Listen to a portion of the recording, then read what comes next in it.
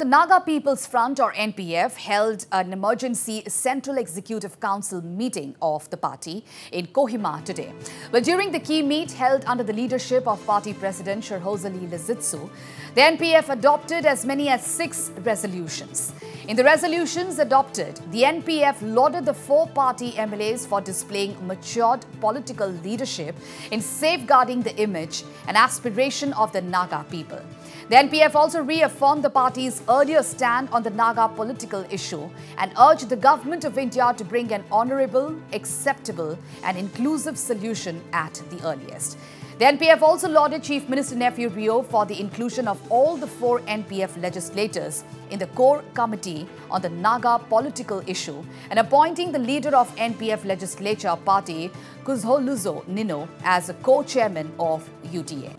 However, the House felt that the party leader deserves better position in UDA as agreed earlier to be equal partner in decision making, the NPF said. The NPF also resolved to uphold the party under the leadership of party president Dr. Shurozelie Leizietsu and uh, Kuzholuzo Nienu as the leader of NPFLP. Further, the House endorsed the party president to undertake restructuring and strengthening measures in the party working system at all levels.